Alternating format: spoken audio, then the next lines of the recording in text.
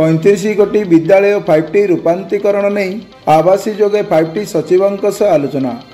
ଗଜପତି ଜିଲ୍ଲାରେ ଚତୁର୍ଥ ପର୍ଯ୍ୟାୟରେ ପଇଁତିରିଶଟି ସରକାରୀ ଉଚ୍ଚ ବିଦ୍ୟାଳୟ ଫାଇଭ୍ ଟି ଅଧୀନରେ ରୂପାନ୍ତରଣ ହେବା ନେଇ ଆଲୋଚନା ହୋଇଛି। ଚଳିତ ବର୍ଷ ଡିସେମ୍ବର ସୁଦ୍ଧା ଉକ୍ତ ବିଦ୍ୟାଳୟଗୁଡ଼ିକର ରୂପାନ୍ତରଣ କାର୍ଯ୍ୟ ଶେଷ କରିବାକୁ ଧାର୍ଯ୍ୟ ହୋଇଛି।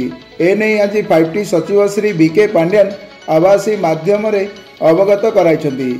ଚତୁର୍ଥ ପର୍ଯ୍ୟାୟରେ ମୋହନା ବ୍ଲକର ଆଠଟି ଉଚ୍ଚ ବିଦ୍ୟାଳୟ ନୂଆଗଡ଼ ବ୍ଲକର ଦୁଇ ଗୋଟି ରାୟଗଡ଼ା ବ୍ଲକର ସାତ ଗୋଟି ଗୋସାଣୀ ବ୍ଲକର ନଅ ଗୋଟି ଗୁମା ବ୍ଲକର ଛଅ ଗୋଟି ଓ କାଶୀନଗର ବ୍ଲକର ତିନି ଗୋଟି ଉଚ୍ଚ ବିଦ୍ୟାଳୟ ରୂପାନ୍ତରଣ ହେବ ବୋଲି ସୂଚନା ଦେଇଛନ୍ତି।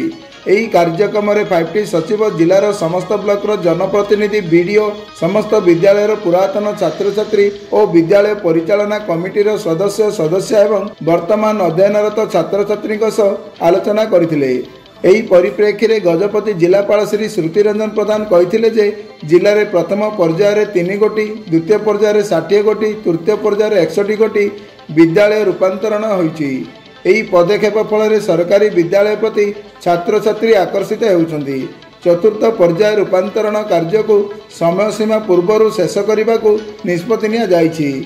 ସବୁଠାରୁ ବଡ଼ କଥା ଯେ ଶିକ୍ଷକ ଏବଂ ଶିକ୍ଷୟିତ୍ରୀମାନେ ପଢ଼ାଇବାକୁ ସ୍ମାର୍ଟ ଅଛନ୍ତି କି ବୋଲି ବୁଦ୍ଧିଜୀବୀ ମହଲରେ ପ୍ରଶ୍ନ ଉଠୁଛି।